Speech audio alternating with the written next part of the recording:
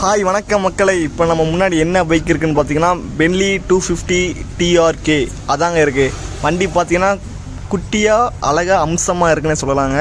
ஏன்னா எனக்கு வண்டி அவ்வளோ பிடிச்சிருக்கு. நெக்ஸ்ட் அடுத்த பைக் வாங்கினா இந்த அட்வென்ச்சர் பைக் வாங்கணும்னா இந்த அட்வென்ச்சர் பைக் தான் வாங்கணும்னு மைண்ட் செட் ஆயிடுச்சு.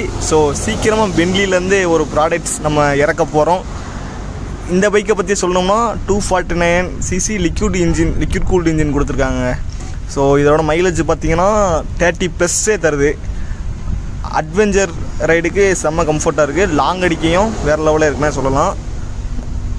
வண்டியோட ப்ரெஃபார்மன்ஸை பற்றி சொல்லணும்னா வார்த்தையே இல்லைங்க. ஏன்னா ஹைவேல வந்து ஒன் ஃபிஃப்டிக்கு மேலே போகுதுங்க டாப் ஸ்பீடு ஸோ ஹைவேல பெர்ஃபார்மன்ஸ் அல்டிமேட்டாக இருக்குது அந்த மாதிரி பார்த்தீங்கன்னா இந்த வண்டி நம்ம நம்மளை மாதிரி ஒல்லியாக இருக்கிற பசங்களுக்கு இந்த வண்டி செம்ம கம்ஃபர்ட்டாக இருக்கும். பார்க்க லுக்காகவும் இருக்குங்க.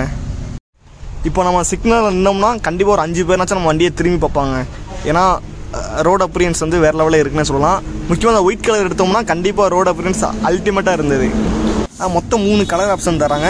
க்ரே பிளாக் அண்ட் இந்த ஒயிட்டு தராங்க. இந்த பைக்கோட ப்ரைஸ் எவ்வளோன்னு பார்த்தீங்கன்னா நம்ம கோயம்புத்தூர் ஸ்டோர் ரூமில் த்ரீ பாயிண்ட் தேர்ட்டி லேக்ஸ் வருதுங்க. உங்களுக்கும் இந்த பைக்கு பிடிச்சிருக்கான்னு கீழே கமெண்ட் பண்ணுங்கள் நெக்ஸ்ட் இந்த பைக் வாங்கலாமா இல்லை வேண்டாமா? அதுவும் கீழே கமெண்ட் பண்ணுங்கள் ஓகே டாட்டா பை பாய்